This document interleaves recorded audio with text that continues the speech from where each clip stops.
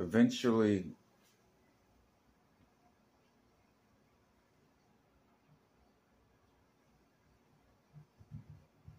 I love you, Lord. I need help with understanding why you placed me with this person. Ah, okay.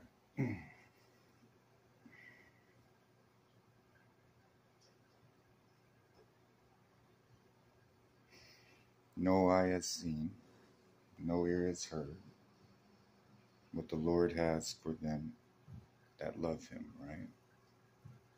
Eventually, as a follower of Jesus, you're going to ask me to send you a husband. You're going to ask me to send you a wife. Lord, I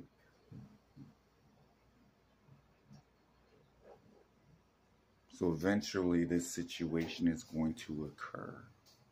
In marriage, there's no way out of this situation. So you're already in this situation. So, what am I teaching you in this situation? What are you learning? How are you growing? How am I strengthening you? How am I teaching you to love your enemy?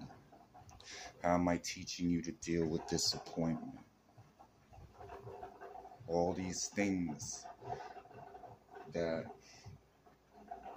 happen that strengthen you when you're constantly pursuing my will for your life. Lord, I thought that was it. Well, we've been through this. You're ready for this. Your new life with your spouse. And you have to realize this is for the rest of your life. And once you realize that, all of the other problems of I thought this person was this person, and then turns out they're not this person. Sweep that to the side. This person's playing all these games and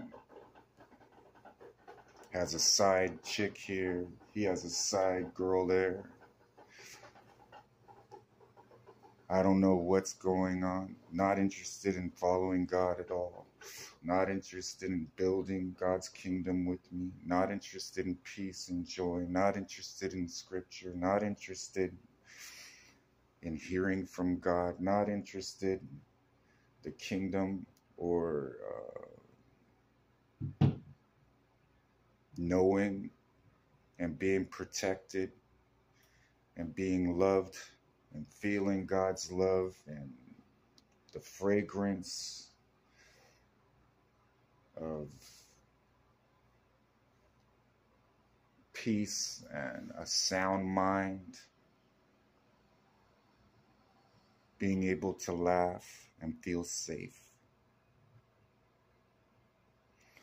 being able to, yes, that's my husband, yes, that's my wife and I'm proud of them. God gave them to me as a gift. So take the cloud of uh, backwards perception that you have of your spouse. See that it's coming from the enemy. Slow down. Be wise. Pray about what's going on and I will tell you.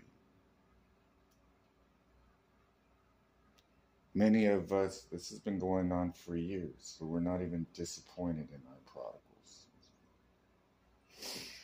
prodigals. we're not disappointed that things aren't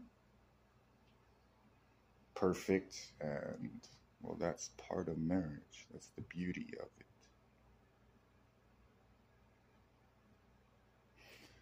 Many of us don't know why our prodigal isn't forthcoming and just saying, you know what, I messed up, I don't know what I'm doing. It's because they are scared.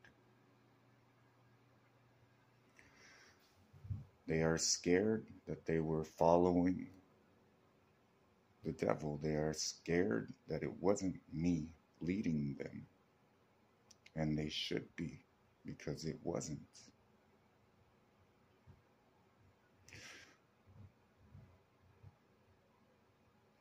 Resmakateshe.